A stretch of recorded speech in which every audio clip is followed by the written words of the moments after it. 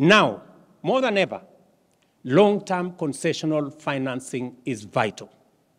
As many Africans and other developing nations face severe debt crisis, this financial strain hampers our efforts to combat climate change, transition to low carbon economy, and adequately fund essential sectors like education, health, and social protection. We have frequently discussed the financial challenges that restrict our economic capabilities and reduce our investment in resilience and growth. High interest rates lead to unsustainable sovereign debt, complicate refinancing, and destabilize our currencies. Additionally, the rising cost of living, increased commodity prices, and supply chain disruptions severely impacting our food security, healthcare systems, and overall preparedness for response to crisis. Last year, we brought to global attention that African nations pay interest rates up to five times higher than typical World Bank IBRD rates. This year, the situation has worsened. Developing countries are now net contributors to the global economy, contrary to expectations of receiving net inflows.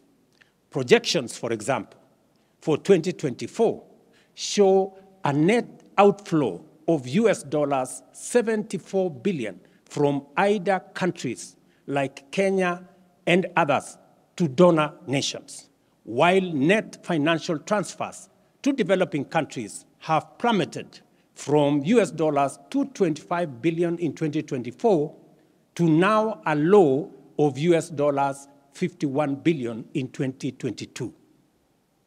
Those statistics are glaring by any measure. Given these conditions, sustainable growth remains elusive for African nations as we allocate more funds to debt service than to crucial sectors like education, health, and social protection. By investing in IDA, we unlock 60% of the world's arable uncultivated land for food security and nutrition, not just for Africa, but for the globe. By investing in IDA, we unlock the human resource potential in our continent, Africa being the youngest continent in the world. Investing in education, in health, in uh, social protection gives us the opportunity to provide 40% of the world's workforce by 2050. Investing in, in, in IDA gives us the opportunity to decarbonize global economy and provide for green growth. Let me say this. Our continent possesses 60% of the world's prime solar resources, and our untapped renewable energy potential exceeds 50 times the projected global electricity demand by 2040. However, realizing this requires a shift in investment strategies with affordable long-term capital at scale being central. Our proposal and request entail a vision for Africa driven an Africa-driven socio-economic development executed with transparency and inclusiveness. And our case is straightforward. Let me put it this way. Significant capital injection into IDA is crucial. The G20 independent expert group recommends tripling IDA's financing capacity to US dollars 279 billion by 2030 while maintaining the essential concessional nature of its financing. At the very least, and if we cannot do anything else, let us not ignore or wish away this expert advice. Africa's commitment to economic transformation, reducing poverty and inequality, and enhancing human well-being is essential and demands significant capital investment. Moreover, the global goal of achieving net zero by 2050 cannot be realized without Africa's active participation, a failure which would jeopardize humanity's survival, not just African survival, humanity's survival. It is imperative to understand with substantial investment in our vast energy resources, Africa can not only provide power to all its citizens, including the 600 million currently without access, but also significantly advance global decarbonization efforts. Let me say this uh, broadly. If there was a case to be made for a win win outcome, IDA is the best example because everybody wins. The donors win, the recipients win.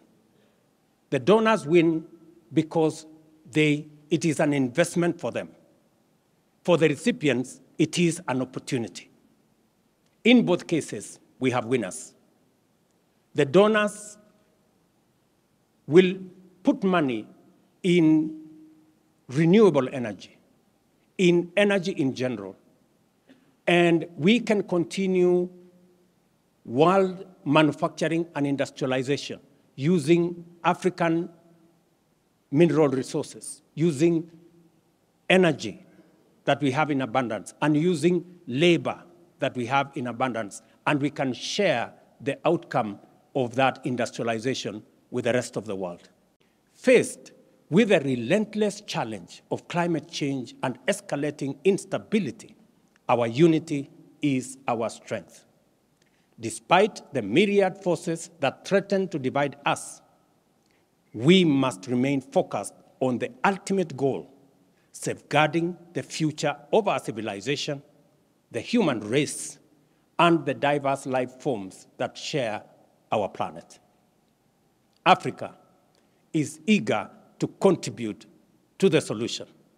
Our continent offers a viable and promising pathway to a future of prosperity for all humanity, harnessing our rich resources and innovative spirit.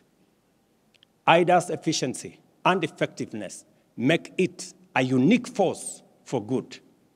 Africa recognizes this, and we don't take it for granted. We are setting an example with our ambitious plan for structural and systemic reforms underpinned by steadfast commitment to tangible results, transparency, and a robust partnership. Given the enormity of the challenge faced by African countries and its global implications as collective emergency, we call on our partners to meet us at this historic moment of solidarity and respond effectively by increasing their IDA contribution from the US dollars 93 billion raised in 2021 to at least US dollars 120 billion in 2024. We convene at a critical juncture, facing a convergence of global crises. This includes escalating geopolitical tensions that challenge international unity, a deepening development and debt crisis that threatens our economic stability, and urgent climate emergencies that demand immediate and collective action for our planet's survival. Today, we gather here, Kenya and the broader East Africa region faces severe flooding that devastated communities, destroyed infrastructure, and disrupted our economies. Concurrently, Southern Africa confronts intensifying drought, affecting nations like Malawi, Zambia, and Zimbabwe. Just last year, the roles were reversed, highlighting our shared vulnerability to extreme weather patterns. As I speak to you in this podium, 10,000 people in Nairobi City are displaced by floods. That is the gravity of the situation. Only a year ago, we had a devastating drought on the other end. This new normal demands our immediate and united action to safeguard our collective future. IDA has directed 75% of its total commitments, nearly US dollars 26 billion, to our continent in the last fiscal year, with African nations comprising eight of IDA's top 10 borrowers. This support is not just financial. It is a lifeline for our development and also our stability. And your presence, personal presence, my friend Ajay Banga, in this meeting is a demonstration of the centrality of the discussions that will happen in this meeting and your personal commitment to this continent, which we appreciate. IDA stands out for its rapid and decisive action during crisis, distinguishing itself from other funding sources. Its demand-driven programs, combined with concessional loans of 40 to 50 years, empower borrowing nations to pursue sustainable long-term development strategies. And this is what we have been asking for. Long-term, concessionary. We now want to discuss in this meeting scale. That is the only aspect that is missing in this configuration. And as Ajay Banga said, two things are missing, scale and design. Make it simpler. It is an honor for Kenya to host this IDA replenishment conference at this historic venue, the place where African heads of state recently united with a bold vision. Here, we committed to transforming our continent into a thriving middle income region, leveraging our unique potential to drive global solutions. Today, we build on that legacy by actualizing our potential to provide those solutions through necessary financing. I extend my deepest gratitude to each of you for joining us at this pivotal summit. Your presence not only honors us, but also reaffirms our shared commitment to the International Development Association, our cornerstone for achieving the development goals of our continent and beyond our continent. We, as African heads of state and government, commit to play our part by taking deliberate and robust actions to improve fiscal discipline, increase domestic revenue mobilization, develop investor-friendly policies, and enhance anti-corruption measures. IDA exemplifies the best of global cooperation, characterized by compassion, lasting dedication, and a fruitful collaboration. By fortifying IDA, we do more than just honor these values. We significantly enhance our joint ability to tackle global challenges. Let us value and expand the reach and influence of this vital resource. Together, let us be bold, let us be ambitious, and let us act with conviction. Africa is poised to transform its agriculture, water security, and energy access while creating job opportunities for over 4 million youths entering the job market monthly and expanding our small and medium enterprises as well. Central to these opportunities is our commitment to African-led initiatives. We aim to control our destiny, managing our resources responsibly and sustainably to drive Africa's industrialization agenda using our abundant energy, mineral, and human capital resources. Our commitment to transparency and accountability is in our socio-economic development plans, ensuring the efficient and effective use of IDA is central to our plan. We acknowledge the vital role of diverse stakeholders beyond governments and traditional donors committing to deeper and broader engagement to enrich our development outcomes. We are committed to empower the Africa Union Commission to make it fit for purpose with capacity to engage the rest of the world on behalf of Africa. We are committed to reform the Pan African Parliament to enhance oversight and accountability over the Commission and establish an African Court of Justice so that we are ready to engage with the rest of the world. Africa does not need sustainable what? You could call it sustainable underdevelopment. Africa needs social economic transformation. The pregnancy must become a baby. The baby must grow and grow and become a teenager. The teenager must grow. That's what happens in life. You cannot have quantitative growth and you think you are doing anything.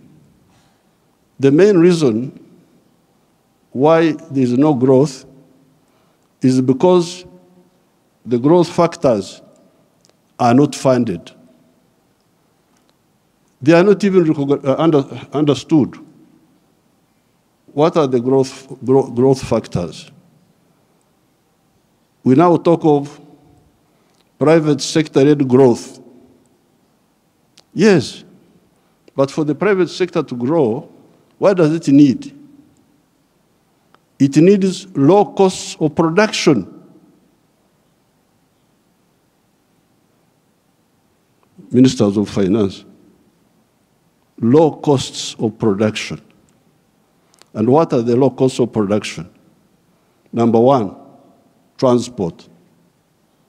You must have low transport costs. Where do low transport costs come from? From the railway. If you don't fund the railway, how will you get low transport costs? Wonderful people. Banco Mundial, IMF, all these. Where will low cost come from if you don't have a railway?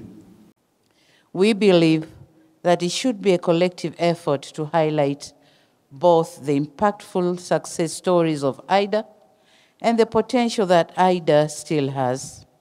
Indeed, IDA has great potential to help its recipients to leverage resources from other partners. For instance, in Tanzania, we have an infrastructure project in Dar es Salaam called the Msimbazi Basin Development Project, which benefited from World Bank support worth $2 million. Having secured these resources, Tanzania has already been able to leverage an additional $60 million from other partners for this project, which aims at strengthening flooding or flood resilience and integrated urban development in our economic hub. Excellencies, in a bid to consolidate and building on the success or successes obtained during IDA 20, we are pleased to advance this most important dialogue on IDA 21. We are doing so at a time when Africa and the world are still facing the effects of multiple crises. In light of this crisis, coupled with significant, significant shortfalls in development finance and shrinking fiscal space, what is required in going forward are more concessional resources. We have been hit by El Nino weather that has forced me to declare a state of disaster in 23 out of 28 districts making me the first president in Malawi's history to declare a state of disaster every year of his time in office thus far. And if hearing all this makes you feel like Malawi should not have survived such shocks, you're right. But I came here to tell you that Malawi is a miracle because despite the anguish Malawians have gone through and the pains they feel, Malawi has not only survived, but is in fact showing signs of recovery. And one of the secrets to our survival and recovery has been the World Bank's IDA, which I'll describe as Malawi's trusted and reliable ambulance in addressing the structural imbalances on the fiscal, current account, and monetary side occasioned by the shocks we have encountered.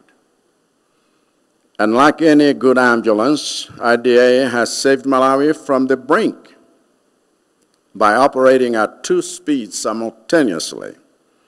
The faster speed to immediately treat the collapsing organs of our ailing economy in real time whenever disaster strikes, using quick response instruments to mitigate the impacts of external shocks on the poorest, and the slower speed to get the economy to the hospital for long-term treatment through structural reforms for sustainable and inclusive recovery.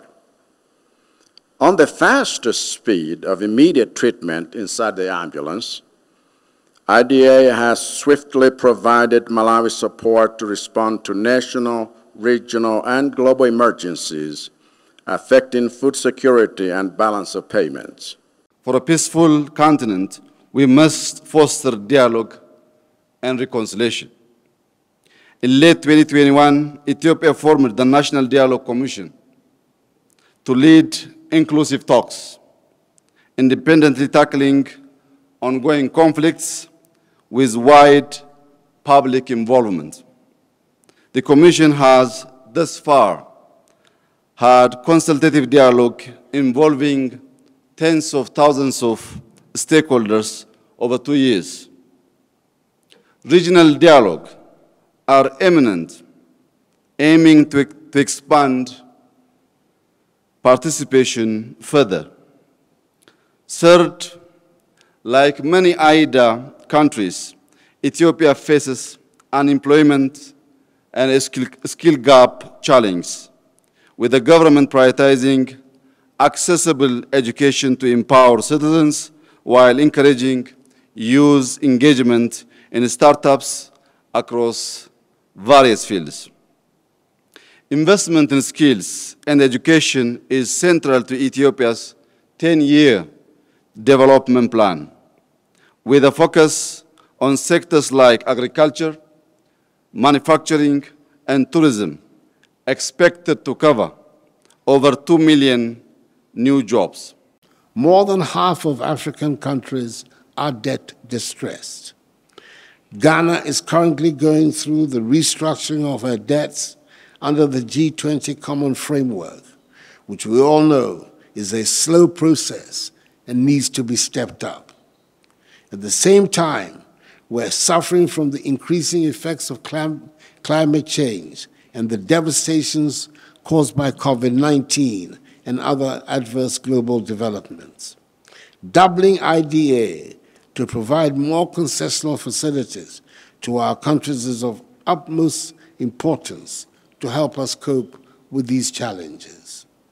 The intersection between climate and debt makes imperative the need to reform the global financial architecture in a way that delivers more resources to our countries to help address the current polycrises affecting our development and that of future generations.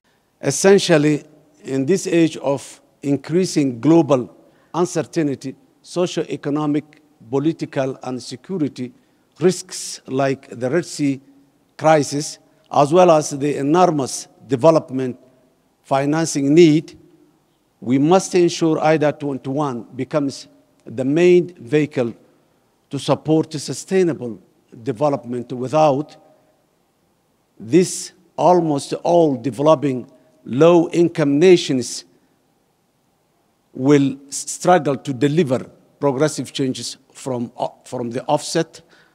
I wanted to thank the government and the, the Republic of Kenya and His Excellency President William Ruto for hosting this critical meeting on IDA 21 replenishment and for bringing us all together, I also wanted to recognize the visionary leadership of His Excellency Ajay Banga, the president of the World Bank Group, who has demonstrated that he is firmly committed to leading a responsive bank that delivers results through the evolution roadmap. We are here united by a shared vision for the future of Africa, a continent that is rich in diversity, in culture, in potential. It is very easy to feel hopeful when we are together anywhere in Africa. You feel the sun on your face, the wind at your back, the fertile and mineral rich earth under your feet. And most importantly, you feel the infectious energy of young people. But these are the ingredients that can power the future. They are not new blessings. And over the course of history, this abundance has too often brought profiteering rather than prosperity. Today, we are focused on a brighter future for every country on the continent and the people who call it home. The International Development Association has been a steadfast partner in Africa's development journey. This summit symbolizes our objective commitment to accelerating progress. But we have to move with urgency, we have to move with purpose, and we have to have a focus on results and on impact. This will require more from IDA, it'll require more from all parts of the World Bank Group, it will require more from governments, and it will require more from the private sector. We stand at the cusp of a new era of growth and prosperity for Africa, or we have come together merely to admire its potential. The choice of where to go with that is ours. IDA remains dedicated to supporting your efforts, to investing in the people of Africa. We are working to make IDA more efficient. We are working to make it able to deliver faster by cutting burdensome rules, requirements, and redundancies. We believe a simpler and reimagined IDA can be deployed with more focus to make meaningful impact to advance the fundamental needs energy access, healthcare availability, realize the agricultural potential of this continent, and build out critical infrastructure and skills in its people.